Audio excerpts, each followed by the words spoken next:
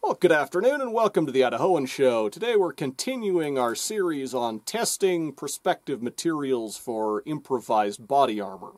For this test, I started with a scrap of concrete slab about an inch and a half thick and wrapped it with baling twine.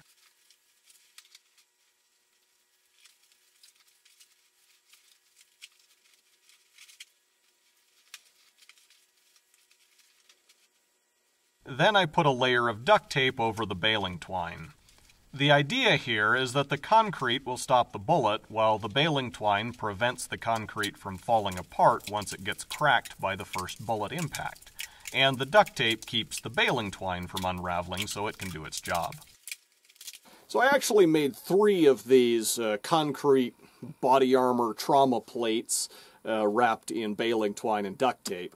Uh, so we'll shoot one of them with 9 millimeter, uh, representing sort of the lower half of the uh, handgun cartridge power spectrum. Uh, we'll shoot one of them with 44 Magnum, representing the upper half of the handgun power spectrum. And we'll shoot one of them with 223, you know, as representative of light rifle fire. So I have really pretty high hopes of these stopping one round.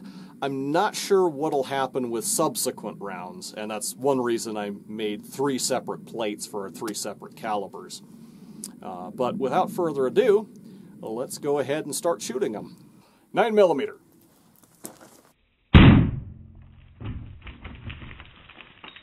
Well, it clearly stopped the first round of 9 millimeter.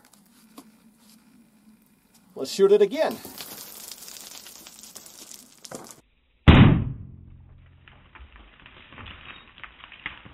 Stop the second round of 9mm.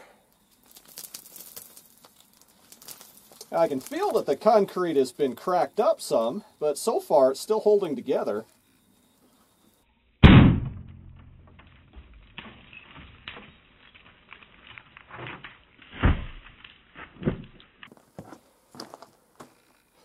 Three for three.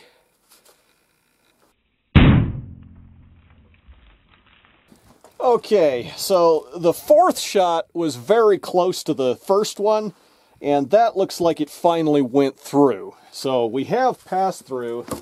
Now, the bullet was just lying on the table right behind the panel, so obviously it didn't have a lot of energy to keep on going after it came out the back. All right, now for a 44 Magnum.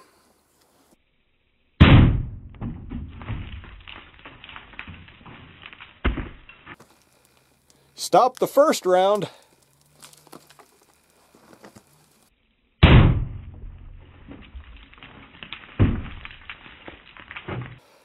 Hard to tell if it stopped the second round or not. I think the bullet's captured in there. I don't think there's a, a bullet hole. Um, but there is sort of some debris uh, coming out the back, so definitely a little more damage than we were seeing with the 9mm. I suppose that's not surprising.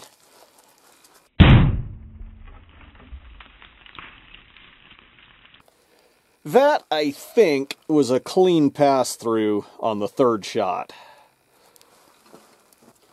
Now for 223.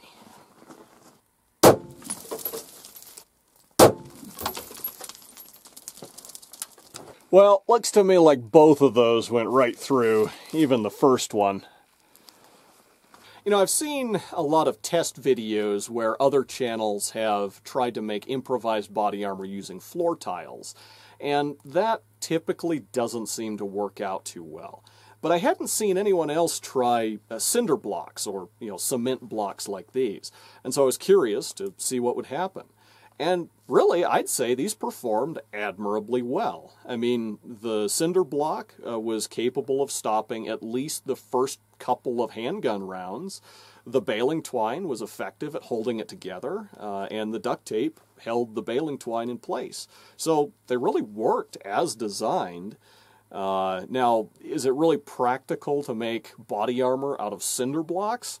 Well, that's certainly open for debate, but of the materials we've tested, I'd say this has definitely been one of the more successful at stopping bullets. Anyway, till next time, thank you for watching The Idahoan Show.